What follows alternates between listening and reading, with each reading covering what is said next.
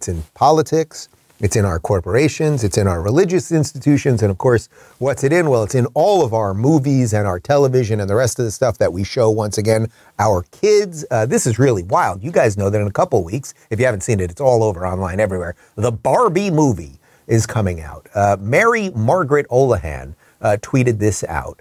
Uh, Barbie release on July 21st. There's a ton of hype around this movie. What you may have missed it includes a biologically male actor who identifies as a woman playing a female doctor. And there's the biological male who plays a female in the movie who not plays a female who is a female is quote unquote is a female in the movie.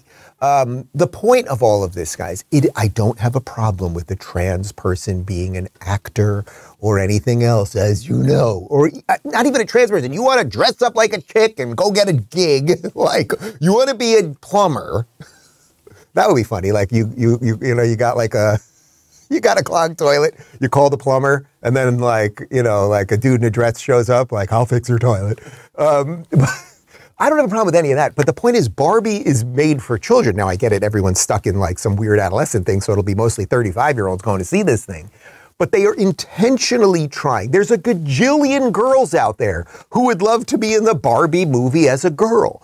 So why do they go out of their way to have a biological boy play a girl who's supposed to be completely a girl in the Barbie movie unless they're trying to confuse kids, unless they want some kid to realize something's a little weird about that. Some eight year old kid is going to watch the Barbie movie, be like, something's a little odd there, and then bring that up with their parents. And then their parents have to explain that to them. When all they wanted to do was get two hours of peace on a Saturday afternoon by taking them to our movies.